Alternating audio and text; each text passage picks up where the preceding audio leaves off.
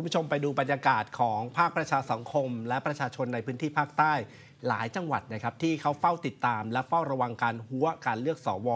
ในระดับอำเภอวันนี้ครับส่วนบางอำเภอก็มีผู้สมัครไม่ถึง 5 คนครับสามารถที่จะผ่านรอบแรกเข้าไปเลือกในรอบ 2 ได้เลยนะครับติดตามกับคุณพัสราจิตคำครับรายงานสดมาจากศูนย์กีฬา และสุขภาพ มหาวิทยาลัยสงขลานครินทร์จังหวัดสงขลาครับเชิญครับค่ะที่นี่เป็นสถานที่รับเลือกสวระดับอำเภอของอำเภอหาดใหญ่จังหวัดสงขลาค่ะ ซึ่งเมื่อสักครู่นี้เองก็ผ่านการเลือกรอบแรกไปแล้วค่ะ เช่นเดียวกับทางจังหวัดต่างๆ ที่เป็นไปอย่างเรียบร้อยดีค่ะ ซึ่งทางคอการเมืองหลายคนก็มองค่ะว่าการเลือกสวระดับอำเภอแบบนี้ อาจจะทำให้คนที่มีความเหมาะสมนั้นไม่ได้รับเลือกค่ะท่านใดที่มีผู้ติดตามนะครับ ให้ฝากโทรศัพท์กับผู้ติดตามไว้ แล้วท่านเข้าไปเลยครับครับเข้าไปเลยครับ หรือท่านใดที่มีเพื่อนที่สามารถฝากโทรศัพท์ได้ ท่านฝากโทรศัพท์ครับ แล้วท่านเข้าไปได้เลย ไม่ต้องยืนรอครับ ผู้อำนวยการการเลือกสวระดับอำเภอในอำเภอหาดใหญ่จังหวัดสงขลากำชับเกี่ยวกับเรื่องเครื่องมือสื่อสารกับผู้สมัครรับเลือกสวทุกคนอีกครั้งหนึ่งค่ะ ก่อนที่จะอนุญาตให้เข้าไปภายในห้องเพื่อให้เป็นไปตามกติกาที่กำหนดขึ้น ซึ่งตั้งแต่ช่วง 8 โมงเช้าค่ะ ผู้สมัครสวอำเภอหาดใหญ่ก็ทยอยเดินทางมาลงทะเบียนกันอย่างคึกคักค่ะ ซึ่งเฉพาะอำเภอหาดใหญ่เองถือเป็นอำเภอที่มีผู้สมัครมากที่สุดรวม 263 คนค่ะ จาก 20 กลุ่มอาชีพ ซึ่งก็มี 4 กลุ่มอาชีพค่ะ ที่มีผู้สมัครเพียง 1-3 คนทำให้มีสิทธิ์เข้ารอบเลือกในเข้าเข้ารอบเลือกรอบ 2 ในช่วงบ่ายนี้ทันทีค่ะ ขณะที่บรรยากาศโดยรอบเป็นไปอย่างเข้มงวดค่ะ เมื่อครบเวลา 9 นาฬิกาเจ้าหน้าที่ก็สั่งให้ปิดประตูทางเข้าออกทันที ไม่อนุญาตให้บันทึกภาพภายในห้องประชุมทำได้เพียงสังเกตการผ่านจอมอนิเตอร์หน้าห้องเท่านั้นค่ะส่วนที่อำเภอนาหม่อมค่ะ เป็นอำเภอที่มีผู้สมัครน้อยที่สุดเพียง 15 คนใน 8 กลุ่มอาชีพค่ะ ทุกคนเดินทางมาลงทะเบียนแล้วเสร็จตั้งแต่ก่อนเวลา 9 นาฬิกา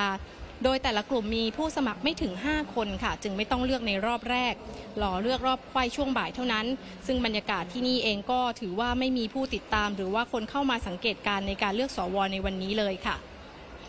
ขณะที่จังหวัดพัทลุงค่ะ ซึ่งเป็นอีกจังหวัดหนึ่งที่มีคอการเมืองติดตามความเคลื่อนไหวต่อเนื่อง มีความเห็นจากประธานชมรมต่อต้านการทุจริต พฤติกรรมมิชอบจังหวัดพัทลุงค่ะ แล้วก็เป็นอดีตสวด้วยค่ะ มองเกี่ยวกับเรื่องการเลือกสวระดับอำเภอในครั้งนี้ว่า มีการตั้งข้อสังเกตนะคะว่าคุณสมบัติของผู้สมัครที่อยู่ในกลุ่มเดียวกันนั้นมีความแตกต่างกันมากค่ะทำให้ผู้ที่มีคุณสมบัติจริงอาจจะไม่ได้รับเลือก เพราะว่ามีการเกณฑ์คนกันมาแล้วค่ะ แต่ถ้าพูดถึงผมเคยพูดเขาบอกว่าคุณมีหลักฐานไหมล่ะ คือกรรมการก็จะถามว่าคุณมีหลักฐานไหมว่าเขาจ้างกันมา แต่โดยพฤติกรรมเนี่ยแน่นอน คนจบป .4 อย่างนี้จบป .2 อย่างเงี้ยมาสมัครสวแล้วคุณรู้ไหมว่าอำนาจสวคืออะไร สมาชิกวุฒิสภา เป็นสภาสูงของประเทศ แล้วคุณเอาคนป .2 ป .4 เข้ามาสมัครเนี่ยผมหมายความว่าไงมันไม่ใช่ครับสำหรับจังหวัดพัทลุงค่ะ พบว่าอำเภอเมืองมีผู้สมัครมากที่สุดของจังหวัดจำนวน 150 คนค่ะ มีผู้สมัครรวม 19 กลุ่มอาชีพ แล้วก็กลุ่มที่มีมากที่สุดก็คือกลุ่มผู้สูงอายุ คนพิการอัตลักษณ์ 21 คน รองลงมาก็เป็นกลุ่มทำสวนป่าไม้ 20 คนค่ะ และแม้ว่าจังหวัดพัทลุงจะเป็นจังหวัดเล็กๆ ทางภาคใต้ แต่ก็มีผู้สมัครรวมมากถึง 911 คนค่ะ ส่วนที่จังหวัดส่วนจังหวัดภาคใต้ที่มีผู้สมัครสวระดับอำเภอมากที่สุดอย่างจังหวัดนครศรีธรรมราช มีผู้สมัครเกือบ 1,800 คน ท่ามกลางกระแสข่าวที่บอกว่ามีการล็อกแล้วก็หัวผลการเลือกสวค่ะทำให้ผู้อำนวยการการเลือกตั้งประจำจังหวัดนครศรีธรรมราช มีการประสานงานกับผู้ตรวจการการเลือกตั้งค่ะ รวมทั้งฝ่ายสืบสวนและก็เครือข่ายต่างๆ เพื่อที่จะเร่งตรวจสอบเฝ้าระวังการกระทำผิดกฎหมายแล้วค่ะก็ได้ยินแต่กระแสข่าวนะกระแสข่าวแต่ว่าในเรื่องของอให้มีหลักฐานหรือให้พบหลักฐานว่าเป็นแบบออย่างที่เขาเขาคุยกันนะนะว่ามีการร่วมกันอะไรกันเนี่ยยังไม่ไม่มีหลักฐานนี้นะครับ ก็คิดว่ากกตก็ไม่ได้นิ่งนอนใจนะกกตก็มีผู้ตรวจการเลือกตั้งประจำจังหวัดนะครับ มีชุดเคลื่อนที่เร็วนะครับ มีกรรมการส่งเสริมพัฒนาประชาธิปไตยหรือสสปชตนะครับ แล้วก็จะมีวีวออีกครับ ที่เข้ามาร่วมสังเกตการการเลือกสวครั้งนี้นะครับหากมีเหตุการณ์หรือว่ามีการกระทำผิดกฎหมายนะชุดเคลื่อนที่เร็วของจังหวัดก็พร้อมที่จะลงไปพื้นที่ทันทีนะครับค่ะและนี่ก็เป็นบรรยากาศที่